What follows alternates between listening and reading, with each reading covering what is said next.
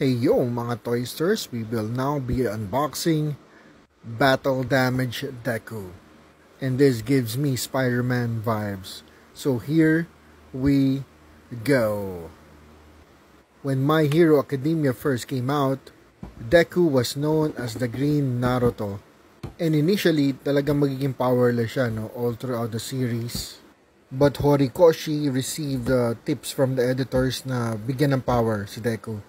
And you can also check out My Hero.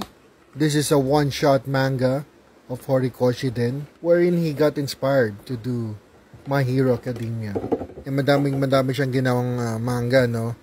And unfortunately, a lot of them are failures. And when I say failures, hindi nag-boom, no? Hindi sumikat. And then one day, he thought of redoing My Hero and revising some of the stories. At ayun na nga, My Hero Academia was born. So the name Deku is more of an insult. It refers to a wooden figure or puppet which cannot do anything. And in Japan, Izuku can be read as Deku as well. So kung insult to, bakit nga ba kinuha ni Deku ang pangalan na yon, no? It's because of Ochako. Ochako said Deku gives off a feeling of I can do it. So in Japan, it says uh, Ganbaru, or to be able to do meaning uh, dekeru. So dekeru parang deku. So inadapt niya na as his hero name.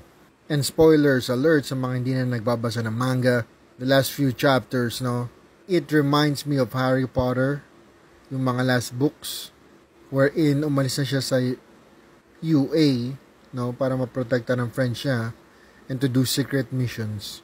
And also to protect his identity, no, his quirk is listed as uh, superpower instead of one for all. Kasi nga naman maliling siya kay All Might. And ngayon na nga no, sa manga, malapit na magharap si One for All and All for One. And I hope we we see all his quirks. No, yung mga quirks ng predecessor niya na lumabas at gamitin niya.